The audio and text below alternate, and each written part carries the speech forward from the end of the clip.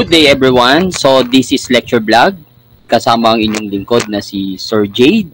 So and of course, uh, it is under Jade Fortis TV. Of course, syempre. Under ito ng Jade Fortis TV. So by the way, uh, I'm going to discuss about the topic under uh, applied business tools and technology and also in tourism information management which is yung mga major global distribution system o yung mga major companies na mga major companies po or different major companies na nag nag nag uh, po provide po ng global distribution system no or GDS system in the uh, travel agencies or in the airline companies po. So before that, don't forget to share, like, and subscribe my channel, Jade Fortis TV, and please follow my FB page, G40s TV and tamang trip ni Hard Knocks. Alright? So, let's start na po ang ating uh, lecture video, ang aking pagbabalik, no? As a lecture video vlogger. Alright? So, yun. Uh, discuss tayo, no? About the uh, major uh, global distribution system. Okay?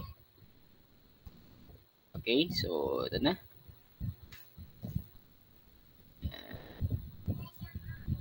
Alright, so ito na. Uh-huh. Alright, so major global distribution system. No? Okay. Of course, uh, learning objectives na tayo, no? So, describe the different uh, major GDS companies and then describe the brief history of the different major GDS companies, syempre, yung history. And of course, give examples of a picture or screenshot of the different major GDS. So, hindi po ako magtuturo ng actual uh, uh, utilization of ano of the different GDS because I have no uh, system, no? Wala akong system, no? So, but I'm going to discuss ano yung mga kumpanya na nag-o-offer ng uh, ganitong uri na system sa mga travel agency and of course sa uh, airline company. Okay, so or mga airlines po. First is Abacus. Actually, uh, before uh, famous na famous itong Abacus, no? So the Abacus, it is uh, one of the lead uh, one of the leading travel technology provider which has come up with the technological innovation for meeting the changing needs of the travel agents and travel suppliers. Okay, so before, uh, talagang uh, sikat na sikat tong mga abacus. So, lahat, mostly mga travel agency ay uh, nagpapa-install nito sa kanila uh, para makapag uh, provide ng air ticket and especially uh, makapag uh, book ng uh, different hotel uh, accommodation no So one of the lead one of the leaders no pagdating sa ganitong industry, one of the travel technology provider. So of course, um uh, mostly ano to napaka advanced ng kanilang mga information na kailangan kailangan ng mga travel agents and travel suppliers.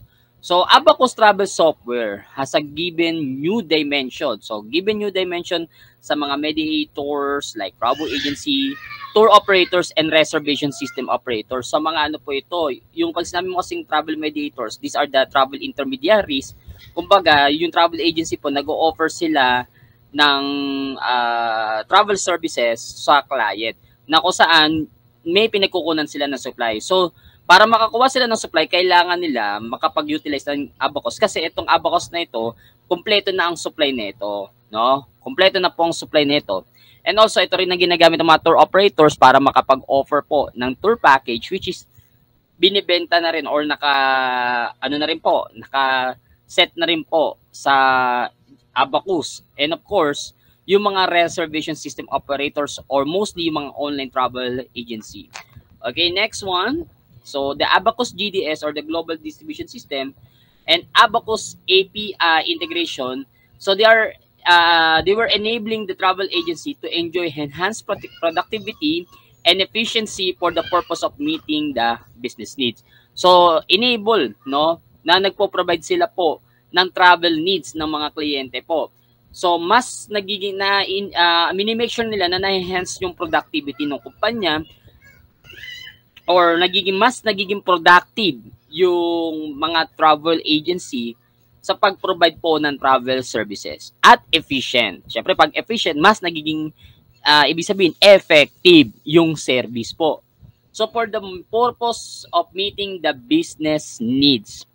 So it was founded in 1988 and became a leading provider of travel solution and services, especially sa Asia Pacific region. Kung sa Europe po, kilalang kilala ang uh, Amadeus, here in the Asia and the Pacific, itong region na ito, maraming gumagamit po ng Abacus. They are, they are the market leader here in Asia Pacific region. Okay, so, but uh, itong mga 2015 lang, nabalita, na nababalita po, na totally acquired by the Saber uh, Corporation, no? Totally acquired ng Saber Corporation ang uh, Abacus. So, ito po yung balita that uh, announced that it has uh, that announced that it has completed the acquisition of Abacus International to become the leading global distribution system or I mean the leading global distribution system GDS in the Asia Pacific region. Ayun. So acquired na, no? Na-acquired na yung Abacus International ng Saber Corporation. So of course, the addition of Abacus further strengthens Saber's leading position in the fast-growing Asia Pacific region. So according to the Saber president and CEO Tom Klein. So according to him, our ability to combine Saber strong global technology platform capabilities with Abacus deep local market expertise will provide Asia Pacific airline, hospitality, and travel agency customers with unprecedented innovation and service option. So para mas maging ano, mas maging quality yung kanilang pag-provide ng technological information services or yung tourism information system mas maging ma-improve especially sa lahat ng mga uh, uh, suppliers or travel suppliers such as the travel agency, of course, um, mas nagiging ano, magiging deep yung local market, no? Kasi na-acquire na nila Abacus, so buong Asia Pacific region masasakop na ng Saber. So, um, it also makes us an ideal technology partner for global customers seeking to grow and expand in Asia Pacific. So, we all know that the Abacus, it serves more than uh, 100,000 travel agents across Asia Pacific. So yun yung ganong karami. With, three, uh, with 59 markets, regional 59 markets, and has both global and uniquely local relationship with airlines and hotels, including ang pinaka-leading uh, portfolio po nila of the low-cost continent and Chinese airline content po. So yun yung under ng uh, Abacus. Yun yung pinakamatas na market nila, yung mga Chinese po. Okay, yung uh, China, uh, yung country ng China kasi yun yung pinakamalaking uh, country sa Asia. Eh. So, more than 100,000 ang nag-utilize at gumagamit po ng Abacus all over the Asia Pacific region. Okay? So, Saber, which previously owned 35% of Abacus, acquired the remaining portion for net cash consideration of 411 million US dollar. So kumbaga na-acquired na, nabili na ng total total na nabili na ng Saber ang Abacus po. Separately, the acquisition includes a new long-term distribution agreement. So nagkaroon na ng new long-term uh, distribution agreements between Saber and the 11 Asian Airlines. So yung 11 Asian Airlines that previously share ownership of Abacus with Saber. Na kumbaga yung 11 Asian Airlines po na may magandang partnership with Abacus, magiging uh, magkakaroon na ng long-term distribution agreement na sa Saber. So the acquisition, including associated working capital adjustment and cash acquired, and was financed through cash on hand, augmented by revolver borrowings of 70 million US dollars. Saber has also signed an agreement to acquire Abacus National Marketing Company and Abacus Distribution System in Hong Kong. So ganun yung agreement ng between Saber and Abacus. That's that's why totally acquired na ang Abacus. So it is under Saber na. So ito yung mostly ito yung mga screenshot po ng Abacus system, especially in check-in promotion ticket price. For promote, kung uh, mag-check po na ticket price na it is already uh, uh, promotion, no? So, kumbaga po, kung may mga promo po, ayan, na-check po dyan ng mga travel agency. Yan yung isa sa mga advantage din ng Abaco, especially sa Asia Pacific region. Okay? So, yan. And then, uh, ito naman po yung Finnair uh, booking process po. So, ganito po yung kanyang format. Ayan. So, as you can see po, no? So, pag ito po yung format po at ito yung in-entry niya, ito po yung entry, ayan, So ito yung magiging result ng uh, ito yung magiging uh, kalalabasan po no ng uh, nung program ng Abacus once you uh, enter uh, this for air extra po. So yan po, if you're going to request an air extra or mga extra baggage or mga request po, ayan, request service, ayan. Okay, so yon uh, that is uh, an Abacus. So Abacus is headquartered in Singapore and owned by Saber Holdings in 2015. Full, uh, full stake of 11 Asian earliest who were holding a majority stake. So yan na po, nasabi ko na po kanina na na-purchase yung remaining portion for 411 million US dollar and it serves 100,000 travel agents across Asia Pacific regions 59 markets and has both global uh, and uniquely local relationship with airlines and hotels, including pinaka-port, as I said, yung pinaka-portfolio nga nila ay sa Chinese airline continent. Okay? So, yun. Uh, so, key features of Abacus GDS system. So, syempre, mas nagiging powerful yung pagsusort po ng uh, functionality po, mas mata- maganda ang sorting functionality ng Abacus. At yung capability ng pagse-search po, mas powerful, mas maganda po yung nagiging output po, no? Mas uh, makikita mo po yung talagang availability po ng uh, ng Abacus po. Next one, unique capability of rate negotiation. So, ito si uh, uh, capable po for uh, negotiating rate price, especially sa mga, or rate sa mga airlines po. Okay? And then convenient geocoding. Pag sinabi mo kasing uh, geocoding, it is the process of converting addresses like street, street address into geographic coordinates like latitude and longitude, which you can use to place markers on a map or position the map.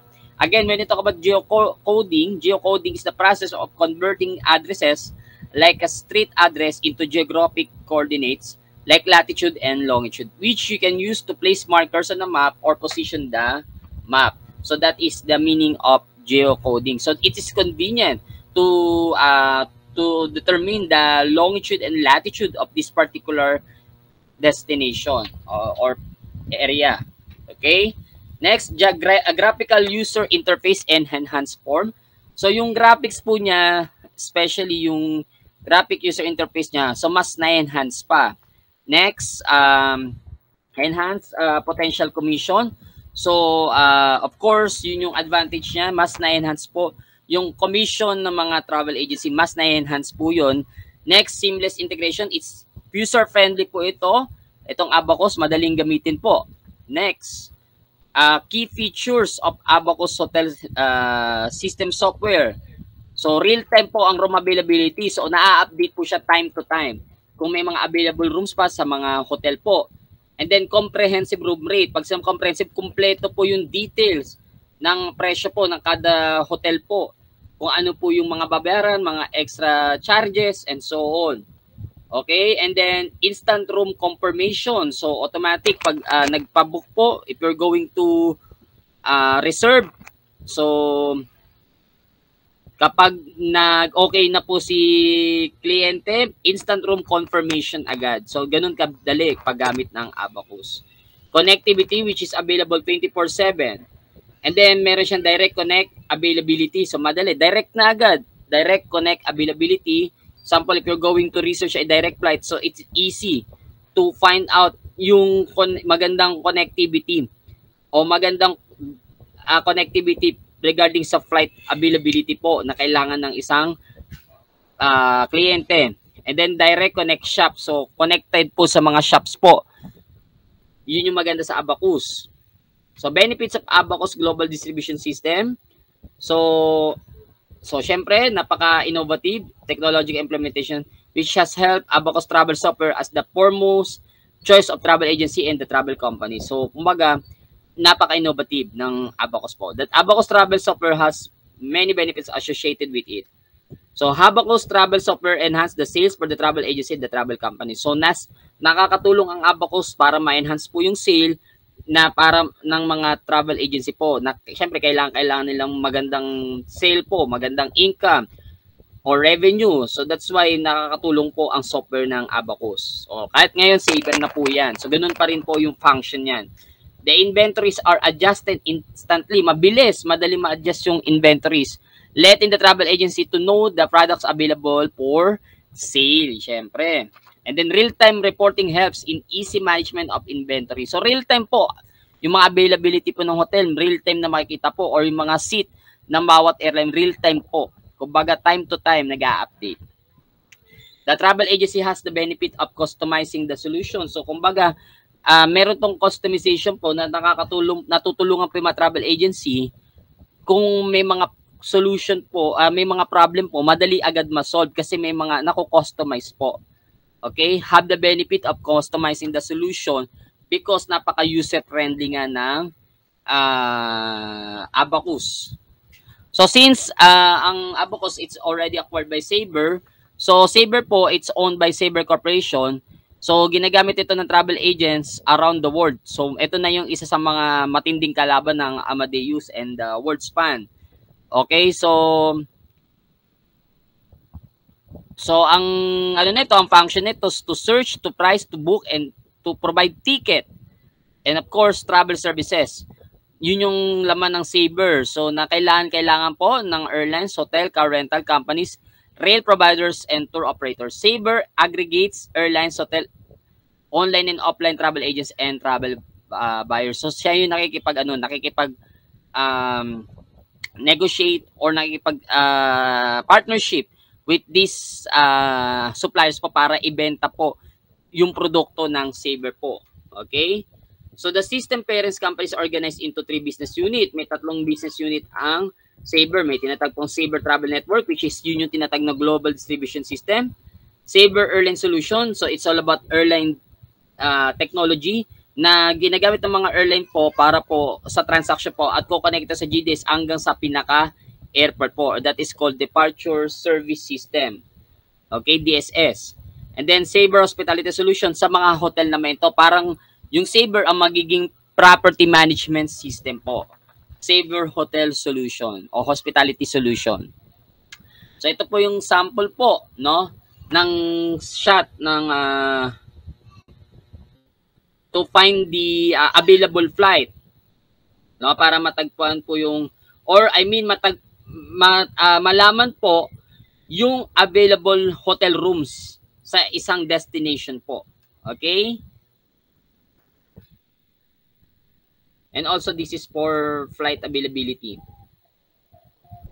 okay next Amadeus your technology partner po yun yung ano niyan, yun yung parang tagline. Okay? So so of course, it is one of the leaders or market leader po pagdating po sa global distribution system. The company is structured around two areas. Its global distribution system and its information technology business. So two areas po ang sakop ng Amadeus, GDS and information technology business. So, ang ginagawa ni Amadeus, it provides search, pricing, booking, ticketing, and other processing services in real-time travel providers.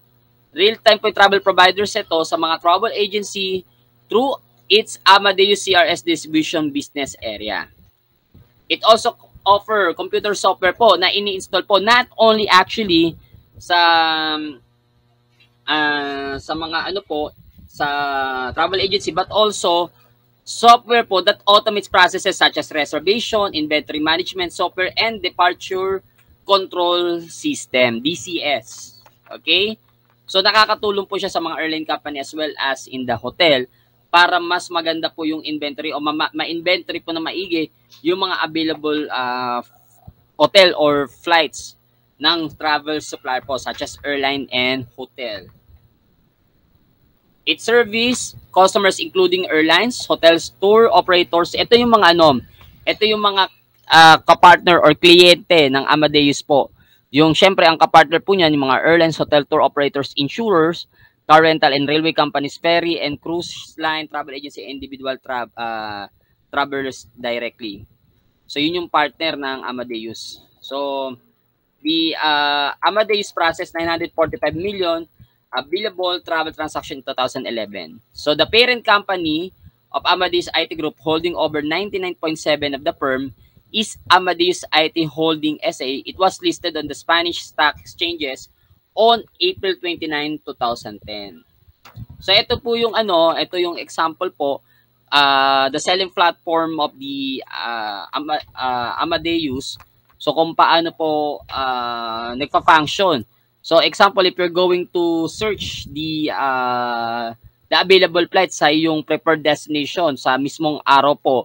So yan, katulad niyan, yung AN1 May LAX NYC. So AN means neutral availability or available neutral. Kung ano po yung kung nagre-request ka po ng available flight sa ganitong araw po.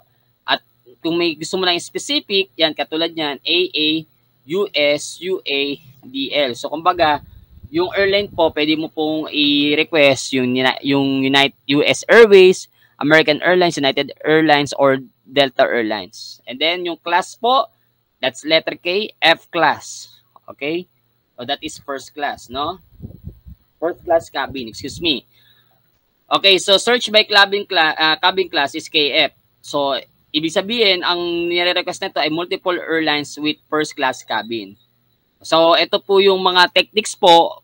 Uh, pag K kasi stands for class, yun po yung indicator na ginagamit po para po ano, uh, yun po yung for search engine po pag gusto mo malaman, kung gusto mo malaman kung may available for this particular seat. So, kunyari, first class, KF, business class, KC, premium economy class, KW, economy class, KY, and economy excluding premium KM. So, business model and other business lines po. The business model of Amadeus is booking fee or transaction based, which means that a fee is taken for each confirmed net booking made in Amadeus CRS. Okay, so yun yun. Uh, kumbaga, every transaction doon nagkakaroon ng income yung Amadeus, no? Which means that fee is taken for each confirmed net booking. Sabihin na confirm yung booking po. So doon nagkakaroon ng, uh, doon makukuha yung bayad po pag na-confirm na. In late 1990s, a business division specialized in e-commerce was created. So yun yung dating ano, electronic commerce po noong 1990. Doon nagsimula yung Amadeus. In 2000, Amadeus was awarded the development of two new operation application. So itong Amadeus, ginagamit ito ng mga different airlines po like British Airways and Qantas. So the inventory management and the departure control system, yun yung, kumbaga yung Qantas, tsaka British Airways, ito na yung pinagkakatiwalaan nila, yung Amadeus na ginagamit nila hanggang sa departure control system ng airport. These products were outside of the core expertise domain of Amadeus and were built with the expertise of the airlines.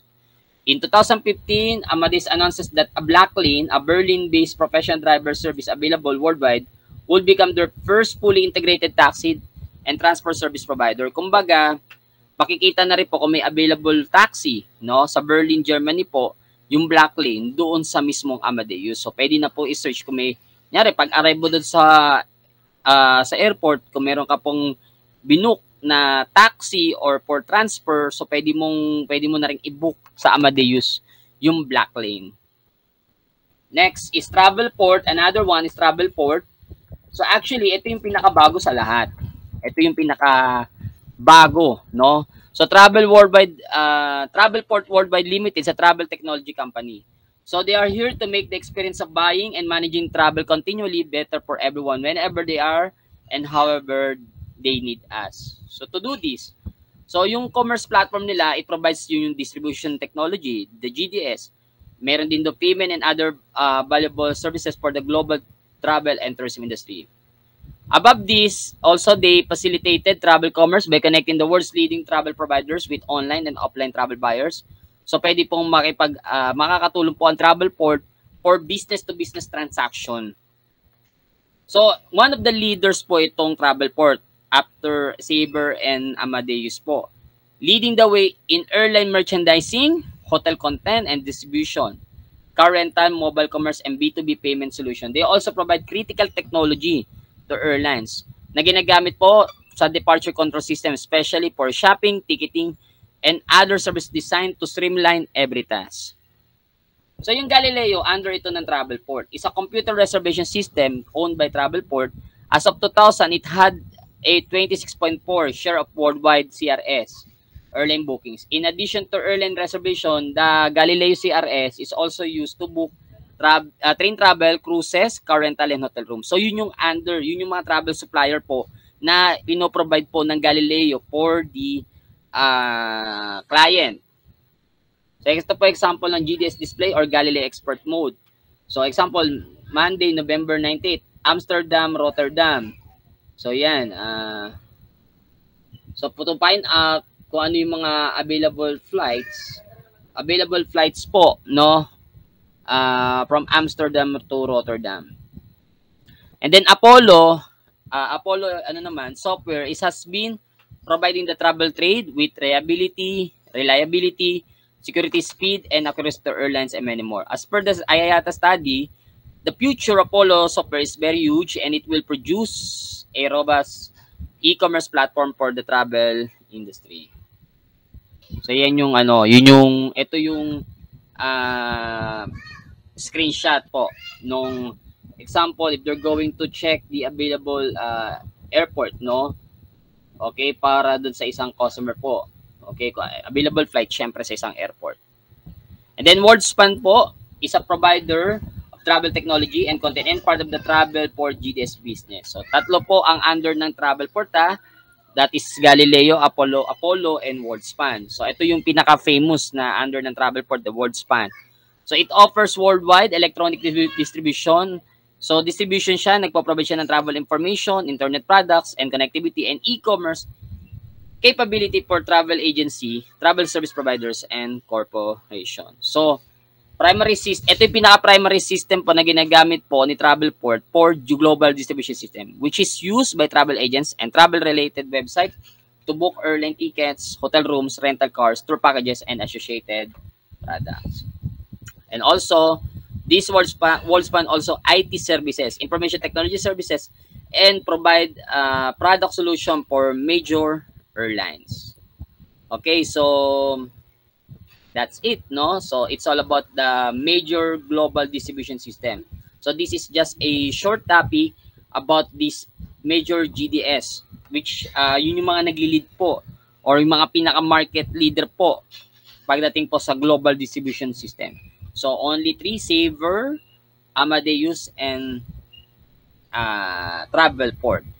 So under ng Travelport, that is Galileo, uh, Apollo, and sports fan. So, yun lang.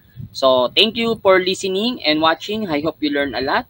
So, don't forget to share, like, and subscribe my channel, Jade Portis TV, and please follow my every page, Jade Portis TV, and Tamang Trip ni Hard Knocks. Maraming salamat. Goodbye!